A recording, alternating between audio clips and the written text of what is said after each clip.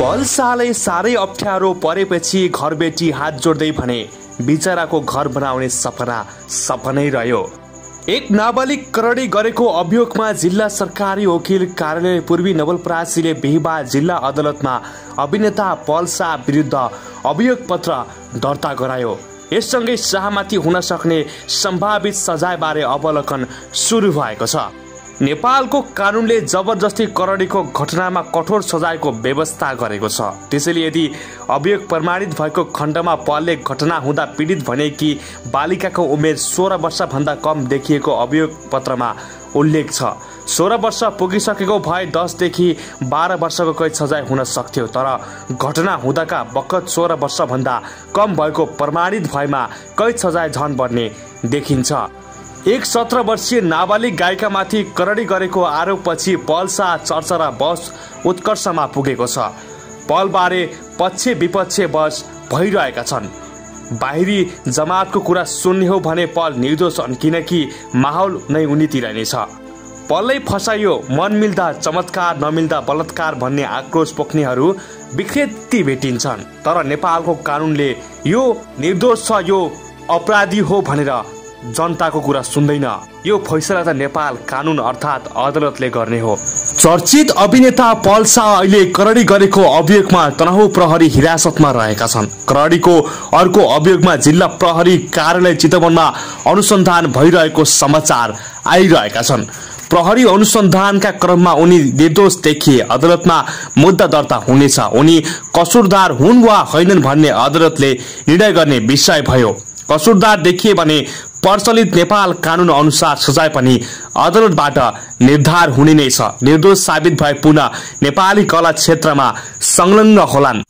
पल्सा प्रकरणमा पीडित बालिकाको गोपनीयताको हकको हनन भएको भनी आलोचना समेत भइरहेको छ। केही कलाकर्मीले यस प्रकरणमा बालिकाको आफ्नो सत्य तथ्य बाहिर ल्याउन वा राख्न नसकेको हुँदा शङ्का गर्नुपर्ने ठाउँ रहेको भनी सतही टिप्पणी गरेको समेत देखिएको छ।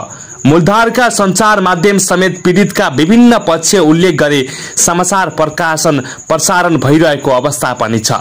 बालबालिका सम्बन्धी ऐन दुई हजार पचहत्तरले बालबालिकाको चरित्र आघात पार्ने र निजलाई लाज ग्लानी वा अपहेलना हुने किसिमको व्यक्तिगत सूचना विवरण फोटो मिडियाको सृजना सूचना सङ्कलन प्रकाशन मुद्रण प्रदर्शन बिक्री वितरण वा कुनै पनि माध्यमबाट प्रभाव गर्न वा गराउन हुँदैन भन्ने व्यवस्था गरेको छ। सोह्र वर्षभन्दा कम रहेको अवस्थामा पीडितसँग प्रतिवादीले विवाद गरेको करडीको वा सहमति जनाएको भन्ने जस्ता हरकतले कानुन मान्यता प्राप्त गर्न नसकेको भनी व्याख्या भएको छ। पछिल्लो समय विवाह गर्ने सहमतिमा करडी हुने तर विवाह नगर्ने वा नहुने भएपछि जाहेरी दिने गरेको भन्ने तर्कहरू पनि आएका छन्। प्रहरी अनुसन्धान तथा अदालतमा दायर भएका वा फैसला भएका मुद्दाले पनि यसतर्फ संकेत चाहिँ गरेकै देखिन्छ। मुलुकी अपराध संहिताले श्रीमतीको सहमति बेगर गरेको करडीले समेत करडीको रूपमा लिएको छ।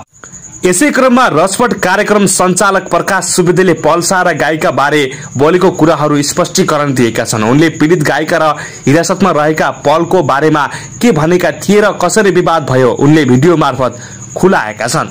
त्यस्तै अभिनेता पल्साको दुईवटा बैंक खातामा रहेको रकम रोक्न जिल्ला सरकारी वकिलको कार्यालय नवलपुर पूर्वले अदालत समक्ष माग गरेको थियो। जिल्ला अदालत नवलपुर पूर्वमा बिहिबार दर्ता गरिएको मुद्दाको अभियोग पत्रमा पीडितलाई क्षतिपूर्ति दिलाउने प्रयोजनका लागि शाहको ब्याङ्कमा भएको रकम कसैले निकाल्न नपाउने गरी रोक्का राख्नका लागि सम्बन्धित बैङ्कमा आदेश गरिदिन माग गरिएको छ। जिल्ला प्रहरी कार्यालय नवलपुर पूर्वले माग गरेको शाहको बैङ्क खातामा विवरण अनुसार शाहको गेलोबल आइएमई ब्याङ्कमा सोह्र लाख दस हजार दुई सय एकानब्बे रुपियाँ र एन एमबी ब्याङ्कको खातामा चार लाख पच्चिस हजार रुपियाँ छ। उक्त रकम मुलुकी फौजदारी कार्यविधि नियम वली दुई हजार पचहत्तरको नियम ग्यार पाँच बमोजिम कहीँ कसैले निकाल्न नपाउने गरी रोक्का राख्नका लागि सम्बन्धित ब्याङ्कमा आदेश गरी पाउनु अनुरोध छ अभियोग पत्रमा भनिएको छ। शाहबाट अपराध पीडित संरक्षण ऐन दुई हजार पचहत्तरको दफा एकतालिस बमोजिमको रकम सही एनाको दफा एकतालिस पाँच अनुसार पीडित राहतमा कोषमा जम्मा गरी पाउने व्यवस्था गर्न पनि भनिएको छ। शाहले विवाह गर्ने प्रलोभन दुई हजार सतहत्तर साल चैत सात र आठ गते नाबालिगमाथि जबरजस्ती करडी गरेको निष्कर्ष सहित सरकारी वकिलले बिहिबार जिल्ला अदालतमा मुद्दा दायर गरेको थियो। चर्चित अभिनेता पल शाह अहिले करडी गरेको अभियोगमा तनहु प्रहरी हिरासतमा रहेका छन्। करडीको अर्को अभियोगमा जिल्ला प्रहरी कार्यालय चितवनमा अनुसन्धान भइरहेको समाचार आइरहेका छन्। प्रहरी अनुसन्धानका क्रममा उनी निर्दोष देखिए अदालतमा मुद्दा दर्ता हुनेछ। उनी कसुरदार हुन् वा होइनन् भन्ने अदालतले निर्णय गर्ने विषय भयो। कसुरदार देखिए भने प्रचलित नेपाल कानून अनुसार सजाय पनि अदालतबाट निर्धार हुने नै छ। निर्दोष साबित भए पुनः नेपाली कला क्षेत्रमा संलग्न होलान्। पल्सा प्रकरणमा पीडित बालिकाको गोपनीयताको हकको हनन भएको भनी आलोचना समेत भइरहेको छ। केही कलाकर्मीले यस प्रकरणमा बालिकाको आफ्नो सत्य तथ्य बाहिर ल्याउन वा राख्न नसकेको हुँदा शङ्का गर्नुपर्ने ठाउँ रहेको भनी सतही टिप्पणी गरेको समेत देखिएको छ। मूलधारका संचार माध्यम समेत पीडितका विभिन्न पक्ष उल्लेख गरे समाचार प्रकाशन प्रसारण भइरहेको अवस्था पनि छ। बालबालिका सम्बन्धी ऐन दुई हजार पचहत्तरले बालबालिकाको चरित्र आघात पार्ने र निजलाई लाज ग्लानी वा अपहेलना हुने किसिमको व्यक्तिगत सूचना विवरण फोटो मिडियाको सृजना सूचना संकलन प्रकाशन मुद्रण प्रदर्शन बिक्री वितरण वा कुनै पनि माध्यमबाट प्रभाव गर्न वा गराउन हुँदैन भन्ने व्यवस्था गरेको छ। सोह्र वर्षभन्दा कम रहेको अवस्थामा पीडितसँग प्रतिवादीले विवाद गरेको करडीको वा सहमति जनाएको भन्ने जस्ता हरकतले कानून मान्यता प्राप्त गर्न नसकेको भनी व्याख्या भएको छ। पछिल्लो समय विवाह गर्ने सहमतिमा करडी हुने तर विवाह नगर्ने वा नहुने भएपछि जाहेरी दिने गरेको भन्ने तर्कहरू पनि आएका छन्। प्रहरी अनुसन्धान तथा अदालतमा दायर भएका वा फैसला भएका मुद्दाले पनि यसतर्फ संकेत चाहिँ गरेकै देखिन्छ। मुलुकी अपराध संहिताले श्रीमतीको सहमति बेगर गरेको करडीलाई समेत करडीको रूपमा लिएको छ।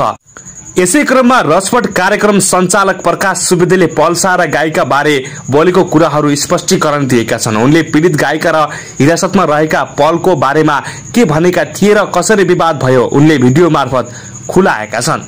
त्यस्तै अभिनेता पल्साको दुईवटा बैङ्क खातामा रहेको रकम रोक्न जिल्ला सरकारी वकिलको कार्यालय नवलपुर पूर्वले अदालत समक्ष माग गरेको थियो। जिल्ला अदालत नवलपुर पूर्वमा बिहिबार दर्ता गरिएको मुद्दाको अभियोग पत्रमा पीडितलाई क्षतिपूर्ति दिलाउने प्रयोजनका लागि शाहको ब्याङ्कमा भएको रकम कसैले निकाल्न नपाउने गरी रोक्का राख्नका लागि सम्बन्धित बैङ्कमा आदेश गरिदिन माग गरिएको छ। जिल्ला प्रहरी कार्य नवलपुर पूर्वले माग गरेको शाहको बैङ्क खातामा विवरण अनुसार शाहको गेलोबल आइएमई ब्याङ्कमा सोह्र लाख दस हजार दुई सय एकानब्बे रुपियाँ र एन एमबी ब्याङ्कको खातामा चार लाख पच्चिस हजार रुपियाँ छ। उक्त रकम मुलुकी फौजदारी कार्यविधि नियम वली दुई हजार पचहत्तरको नियम ग्यार पाँच बमोजिम कहीँ कसैले निकाल्न नपाउने गरी रोक्का राख्नका लागि सम्बन्धित ब्याङ्कमा आदेश गरी